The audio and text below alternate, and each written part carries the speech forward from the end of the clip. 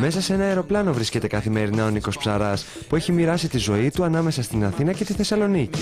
Ο γνωστός ηθοποιός ξέκλεψε λίγο από τον ελεύθερο χρόνο του και μίλησε στη Σταματίνα Τσιμψιλή για όλα όσα θέλουμε να μάθουμε για εκείνον. Αναγκάζομαι τώρα σχεδόν καθημερινά να φεύγω από Θεσσαλονίκη στις 7 το πρωί ναι, έχουμε να κάνω γύρισμα, 7 το απόγευμα να πετάω πίσω για να κάνω παράσταση. Τα πέντε χρόνια που έζησε στην Αμερική είδε πολλά που του έκαναν ιδιαίτερη εντύπωση και που ενίσχυσαν τις φήμες που αναφέρουν ότι κάποιοι ξεπουλάνε τα πάντα για να κάνουν καριέρα στο χώρο του θεάματος. Ο ίδιος μιλάει έξω από τα δόντια και δηλώνει πως δεν του έχει γίνει ποτέ κάποια ανήθικη πρόταση. Στην Αμερική πας και γίνεσαι easy γκολό ή σερβιτόρος, κάτι τέτοιο. Για το Los Angeles. Για το Los Angeles. για εξήγησε το μου λίγο αυτό, γιατί μου έκανε ιδιαίτερη εντύπωση, ναι. Εντάξει, το Los Angeles είναι μια πόλη του θεάματος, βιομηχανία του θεάματος. Δηλαδή από τα 17 εκατομμύρια που ζουν εκεί, τα 15 ασχολούνται με το σινεμά.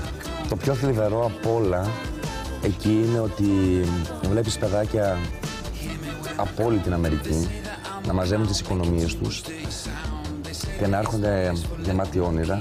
Τους βλέπεις ότι μέσα σε πέντε μήνες ή φεύγουν, θα παρατάνε σου ξοδεύουν τα λεφτά τους ή μένουν και γίνονται πόρνοι και πόρνες. Δηλαδή η πορνεία είναι απίστευτη. Τρομάζεις δηλαδή με αυτό που βλέπεις εκεί. Ο Φακός τον λατρεύει και ο Νίκος Ψαράς το απολαμβάνει. Ο καινούριο του ρόλος στο Αν με αγαπάς του Α διεκδικήθηκε από πολλούς συναδέρφους του. Όμως ο ίδιος αναδείχθηκε νικητής. Ακούστηκε και γράφτηκε ότι υπήρξαν έτσι κάποιες απογοητεύσεις συναδέλφων σου που τελικά δεν κατάφεραν να μπουν ε, στο cast. Αν νόμιζα ότι απογοητευτήκαν που πήρα εγώ το ρόλο. Όχι.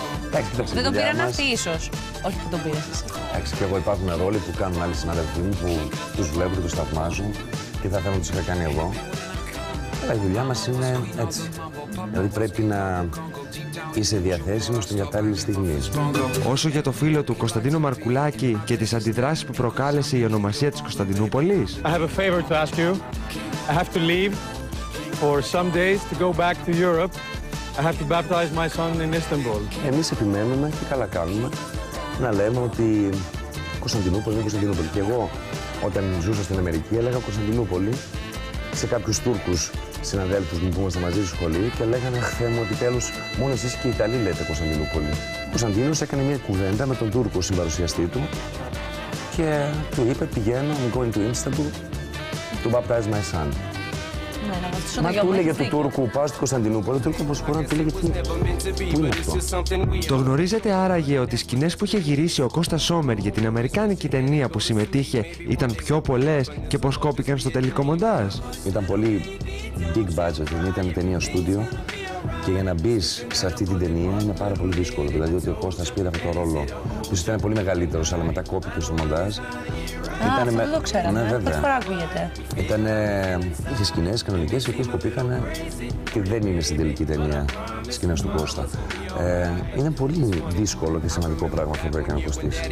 Λίγο πριν το τέλος της συνέντευξης, ο Νίκος Ψαράς ευχήθηκε το 2007 να του φέρει αυτό που ποθεί πραγματικά. Κάτι μόνιμο θα ήθελα στην προσωπική μου ζωή. Δηλαδή εννοώ. Κάτι σίγουρο, κάτι καλό, κάτι ε, να με γεμίζει και να με καλύπτει και να με κάνει ε, χαρούμενο να είναι χειμώνας και να περπατάω στην Αλεξάνδρα, ας πούμε, και να λέω πω πω είναι άνοιξη.